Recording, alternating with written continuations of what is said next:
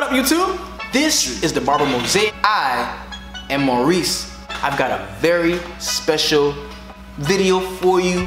It's about one of the hottest trimmers in the barber game right now. The Babyliss Pro Skeleton Trimmer. I have been wanting this trimmer for so long. As soon as I saw it and I heard a lot of cats that I really respect in the game talk about this trimmer and how much they liked it, I said, I gotta get it, I gotta review it, I gotta use it in the shop. I was so lucky to pick it up recently and this is, a, this is gonna be a, a full length review and comparison, okay? Because I got a lot of strong views and opinions about this specific trimmer, so let's get into it.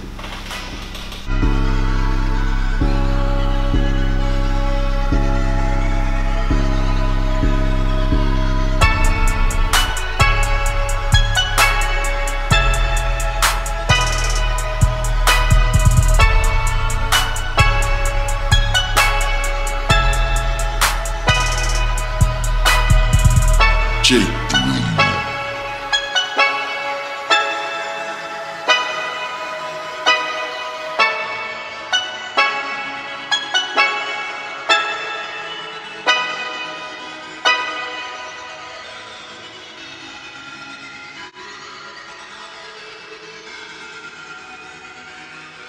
J. Thriller.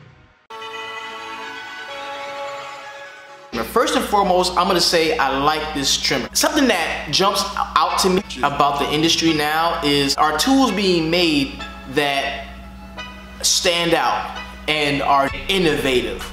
A lot of people think that this is one of those tools. We're gonna talk about that some. In terms of look and feel, it's gold. It's shiny gold and people like me from where I'm from, we love shiny gold shit. Let's just be real about it. This is a beautiful trimmer. It's gold and shiny. It's not this like rusty looking gold on the slimline, but it's gold. It's gold gold. And we love gold. So it's dope. The blade is black, got that carbon black blade in there. You can check that out. That is beautiful. The actual T-blade is gold in terms of look. Another thing that I want to talk about in terms of look is, doesn't this have a T outliner look to it? It has a real T outliner look right off the bat.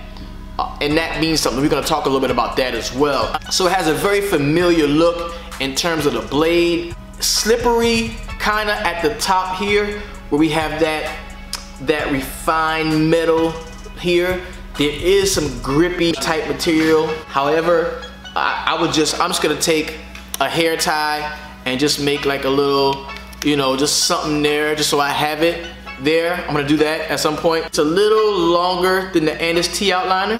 The Slimline Pro, maybe a, maybe a little retro T-cut. Wahl, the new Wahl detailer, and it are very similar in size. This is not like some, you know, oh, so huge and crazy type.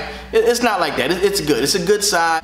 One thing I absolutely love about this trimmer is the blade angle on it. You know, a lot of times as a newer, younger barber, you always get the T outline. And if you are lazy in your placement, edging up, if you are lazy in your placement and you don't have that hand high, that elbow high, and coming down on an angle, you can go this way and you can really scar somebody up by letting this cutting blade touch someone's skin. The way this blade is set up, how it has that, I mean, almost a, almost a right angle there um, in terms of the blade, this is really good for keeping that high elbow angle. Like even if you drop your elbow, the way this is set up, it has that high angle on it. So that means you're gonna be coming down and that's a really, a really big plus, especially for a trimmer like this that isn't that great unless you zero gap it. We're gonna talk about that in just a moment. So it's giving me T outliner vibes in terms of initial look and feel. Now, once I turn it on, the strength and the power, very powerful. And this is kind of quiet actually. a lot of people have been saying that these have been loud, but this kind of quiet actually. But the power, man, is there. It feels stronger or as strong as the new Wahl cordless detailer LI. So that's a big plus. Right off the bat from this trimmer, I, have gotta believe that whoever influenced the making of this trimmer were a group of people that like Andis and people that, people that like Wahl. Because one thing that I'm, I'm, not feeling in terms of performance is, you know, you, you know that Andis T-outliner blade bounce, that little, that little, that sizzle, the, the, the bounce of the blade that you get from the Andis T-outliner. That's, there is a little bit here, but not the same. The Andis T-outliner, I'm talking about the bounce of the blade is it's unmistakable. Like you know it. it. It's a it's like dribbling a basketball with the T outline.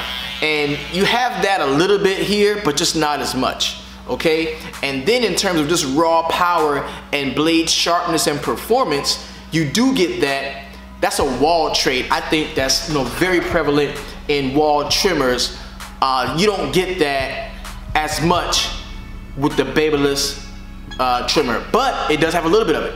So this trimmer to me seems like it was influenced by people that love Wahl trimmers and people that love Andis trimmers. And there's a few ways we can go about that.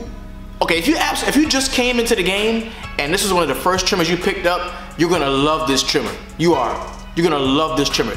If you have not found your groove, if you're not if you have not tailored your technique around a specific tool yet, you're a young barber, a new barber, and you get this, you're gonna love this because you're gonna get slight blade bounce and you're gonna get that power and precision and sharpness of blade, okay?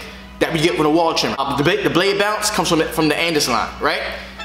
But now, but if you're like me and you've already tailored your technique around a specific tool, me, the, the T outliner is my is my the one that the Andis T outliner is something that I know. When I was a kid, the dude used to grab that old gray, trusty with the with the burgundy switch, flip it on, and scar my shit up. The blade used to bounce. I, I remembered it. When I was in barber school, is what they gave me, the T outliner. I used it. So I'm very comfortable and familiar. I've tailored my technique around edging up with an Andis T outline. So when I get my hands on this and it doesn't have that same blade bounce, I kind of feel myself missing my T outline and I just pick it up, right? Or if you're one of those Wahl cats who just love the raw power of the Wahl detailer and the precision of the blade, the sharpness of the blade, like where you might bust somebody open. You know how them detailers get because you can get close, very close to that with this zero gap, but it's not the same. It's not the same. So if you have already tailored your technique around Wahl trimmers, this one, you're gonna pick your detail up. This is not, this can't be a replacement for somebody who's already locked in. If you if you an Andis cat or you a Wahl cat, this is gonna remind you a lot of why you love Andis trimmers over Wahl trimmers or Wahl trimmers over Andis trimmers, but it's not gonna make you replace it at your station. It's not gonna make me replace I, like it's not like I'm, I'm never gonna pick up my Andis T outliner again because I have this. That's not what it is. And there's been a lot of hype about this trimmer, bro. A lot of hype. From Chris Bossio to Mr. Outliner to Rum Barber to everybody. Oh, this trimmer, oh, you gotta get this trimmer. And it's dope. It's beautiful, it's dope. It's the, it's the most beautiful trimmer on the market. It's dope.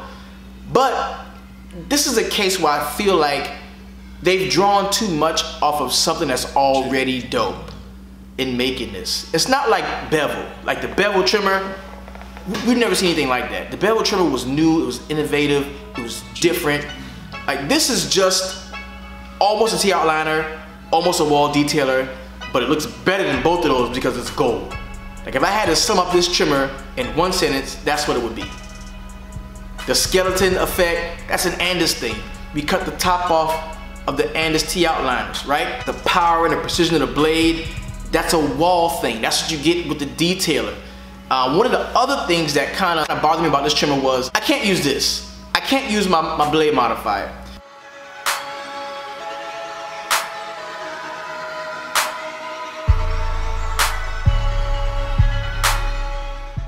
Here's the blade, check it out.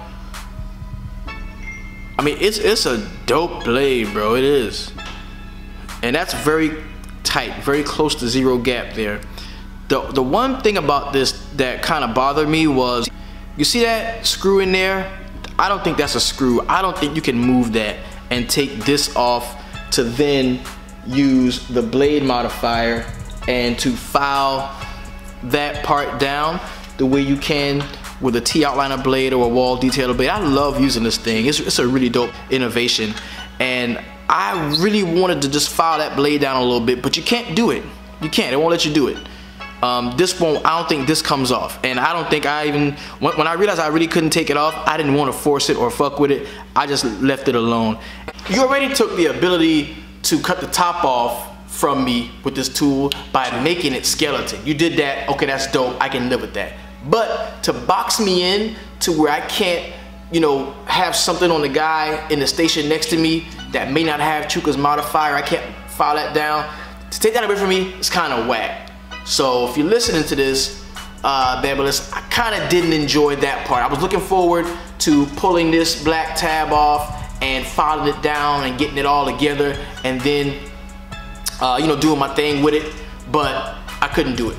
For the sake of supporting the barber industry and anybody that makes dope shit to and for me to purchase it and use it in the shop I'm gonna keep it and I'm gonna use it without a doubt.